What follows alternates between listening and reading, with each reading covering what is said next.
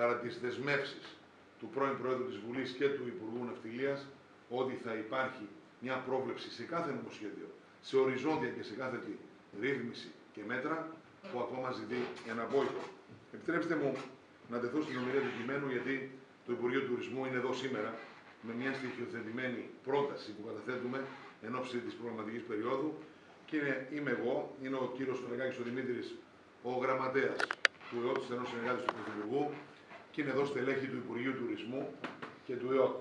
Είμαστε εδώ δηλαδή σε μια ομάδα, σε κοινή πλεύση με το Υπουργείο Ναυτιλίας, προκειμένου να συνθέσουμε αυτή την πρόταση την κυβερνητική για το επόμενο έσπασο ό,τι αφορά την περιφέρειά μας.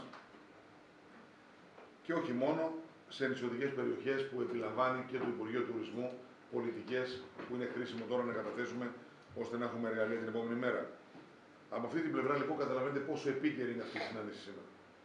Η συνάντηση συμβάλλει στην κατάθεση των προτάσεων αλλά και στην ανάδειξη των προτεραιοτήτων για τη διαμόρφωση μιας ολοκληρωμένης πολιτικής για την νησιωτική ανάπτυξη με μετρήσιμο αποτέλεσμα. Δυστυχώς, κυρίες και κύριοι, ξέρετε ότι στην πολιτική όσοι ασχολούνται με τα κοινά χρειάζεται να αποτυπωθεί αυτή η δράση και η δυναμική με αποτέλεσμα. Αν ρωτήσετε τον παλαιότερο δήμαρχο στην αίθουσα του Δημήτρη Διακομιχάλη, ότι ό,τι και να λες και να κάνεις, αν ο πολίτης δεν το βιώσει, δεν μετράει.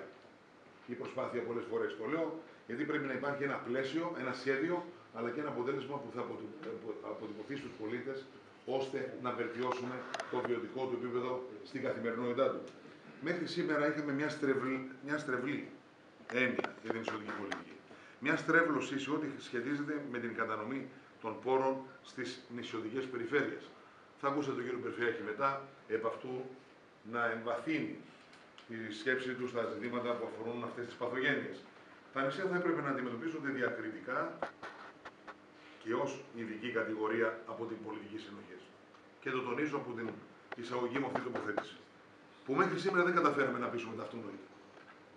Αυτό όμως δεν συμβαίνει, αφού η αντιμετώπιση τους γίνεται με βάση τους κανόνες που ισχύουν για όλες τις άλλες ευρωπαϊκές περιφέρειες, ακόμα και αυτές που εντάσσονται στο υπηρετικό χώρο. Είναι δηλαδή κοινή αντιμετώπιση του Αγαθονησίου και της Αστυπάλαιας με κίνη των Ιαννίνων και της Πάντρας. Η κατηγοριοποίησή τους και η κατανομή των πόρων γίνεται με βάση το κατακεφαλή να καθάριστο εθνικό προϊόν, όπως έχουμε συνηθίσει, με βάση την κατανομή του ΑΕΠ.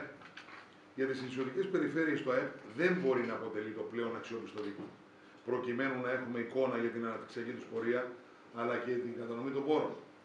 Θα αναφερθώ ένα μόνο παράδειγμα μπορούμε να πούμε, προκειμένου να καταδείξει αυτή τη στρέβλωση. Το Νότιο Αιγαίο βρίσκεται στην 136η θέση μεταξύ των ευρωπαϊκών περιφερειών με βάση το κριτήριο του ΑΕΠ. Είναι δηλαδή περίπου στη μέση.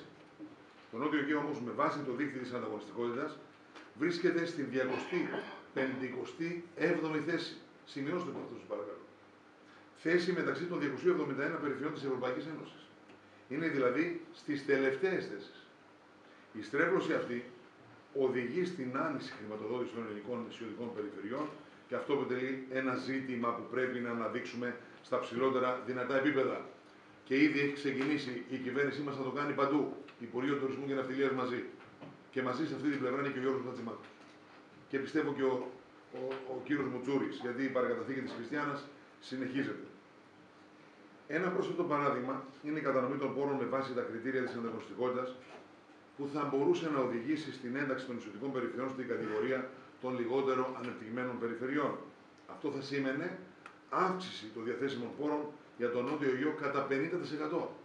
Δύο δείκτες δείξαμε ως παράδειγμα. Και αυτή η αναφορά μου σημαίνει ότι αν αυτό συμβεί να αποδεχθεί από τα ευρωπαϊκά όργανα, αυτόματα η περιφέρεια θα πάρει 50% πρόσθετους πόρους. Είμαι από αυτούς που υποστηρίζουν εδώ και χρόνια ότι η περιφερειακή πολιτική της Ευρωπαϊκής Ένωσης δεν καλύπτει τις ανάγκες και τα ιδιαίτερα χαρακτηριστικά των νησιωτικών περιφερειών και ότι η ίδια η Ευρώπη χρειάζεται μια αυτόνομη και αυτόφωτη νησιωτική πολιτική. Κυρίως μια νησιωτική πολιτική με ενιαία